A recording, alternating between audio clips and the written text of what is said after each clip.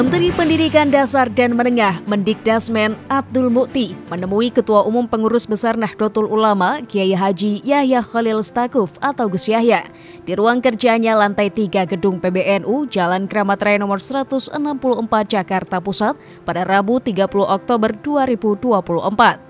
Abdul Mukti membawa serta dua wakil menteri, Fajar Reza Haq dan Atip Latiful Haya serta para dirjen.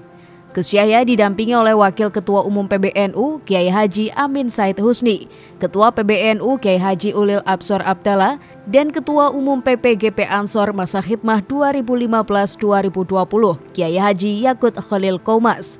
Dalam pertemuan yang berlangsung hangat dan gayeng itu, Mukti menjelaskan kedatangan rombongan dalam rangka bersilaturahmi dan meminta masukan dari pemimpin organisasi yang menyelenggarakan pendidikan. Nahdlatul Ulama adalah salah satu dari organisasi Islam yang memiliki banyak sekali lembaga pendidikan dan sebagainya adalah sekolah-sekolah yang memang itu menjadi bagian dari mitra kami di Kementerian Pendidikan Dasar dan Menengah.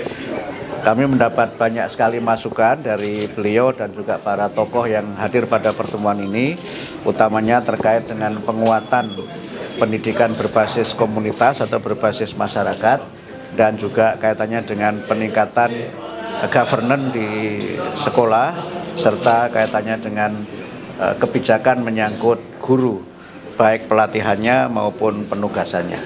Itu poin-poin penting yang bisa kami sampaikan. Sementara itu, Gus Yahya mengungkapkan hubungan PBNU dengan Mendikdasmen sudah berlangsung sangat baik, sehingga kerjasama dua lembaga tersebut hanya melanjutkan.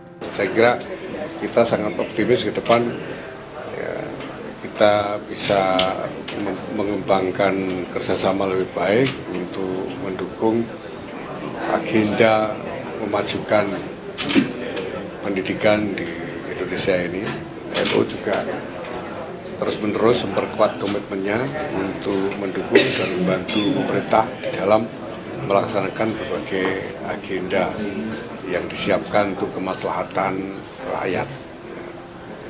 Nah, NU ini punya eh, layanan pendidikan termasuk dasar dan menengah yang luas sekali.